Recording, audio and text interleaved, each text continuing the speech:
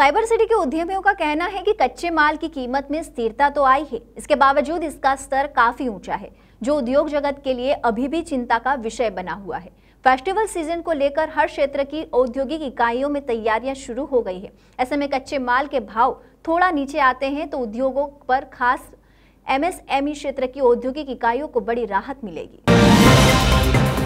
वस्त्र उद्योग पर कच्चे माल की महँगाई का सबसे अधिक नकारात्मक असर पड़ रहा है। यही कारण है कि इनसे संबंधित उत्पादों के दाम बढ़ने लगे हैं। उद्यमियों का कहना है कि सेमीकंडक्टर की आपूर्ति में कभी आन, कमी आने से औद्योगिक माहौल काफ़ी जटिल हो गया है। यही समय है कि जब केंद्र सरकार स्टील प्लास्टिक रबर और एल्यूमिनियम से संबंधित औद्योगिक कच्चे माल के दाम को नियंत्रित करे या एमएसएमई क्षेत्र को इनकी खरीद पर सब्सिडी दे।